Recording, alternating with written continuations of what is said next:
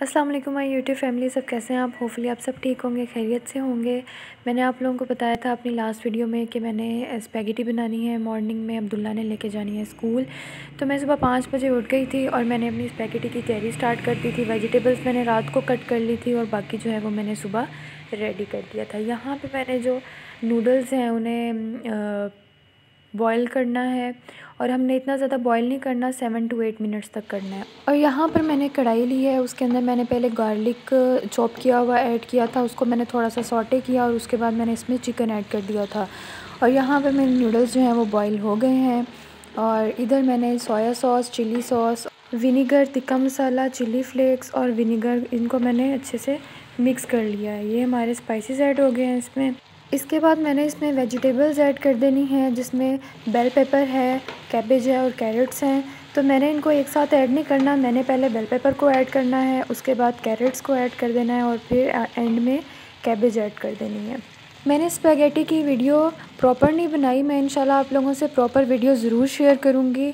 क्योंकि मॉर्निंग में इतना टाइम नहीं था और मुझे स्कूल भी जाना था तो इस वजह से मैं प्रॉपर वीडियो नहीं बना सकी।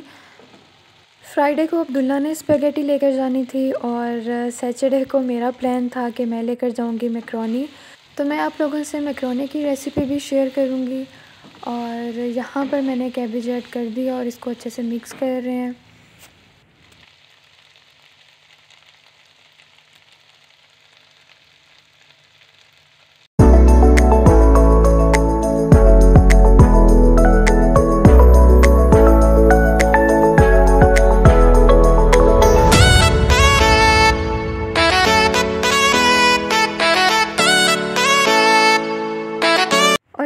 मैंने इसमें नूडल्स ऐड कर दिए हैं और मेरी स्पेगेटी रेडी हो गई है। और इसके बाद अब्दुल्ला को पैक करके मैंने दे दी थी और हम स्कूल चले गए थे और मैंने नाश्ते में दूध का गिलास और एग लिए थे।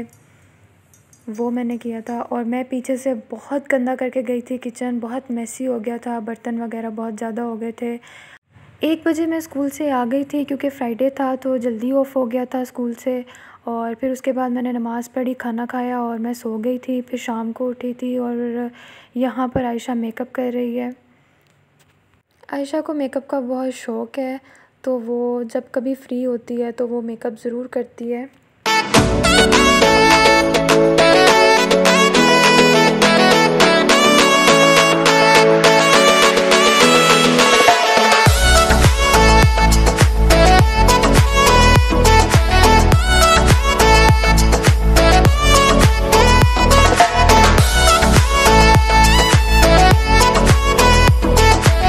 कंसीलर आयशा ने यूज़ किया है यहाँ पे रिवाज यूके का और शेड इसका है टू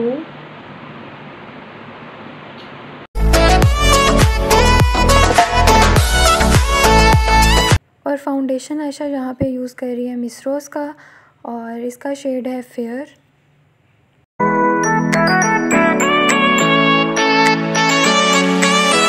वीडियो में ज़्यादा इंपॉर्टेंट ये था कि मैं आप लोगों को अपनी स्पेगेटी की रेसिपी शेयर करूँ और बाकी मैं अपनी वीडियो यहीं पे एंड करती हूँ। अगर आप लोगों को मेरी वीडियो पसंद आई हो तो लाइक करें सब्सक्राइब करें शेयर करें और कमेंट करना मत भूलिए। अल्लाह हाफिज़।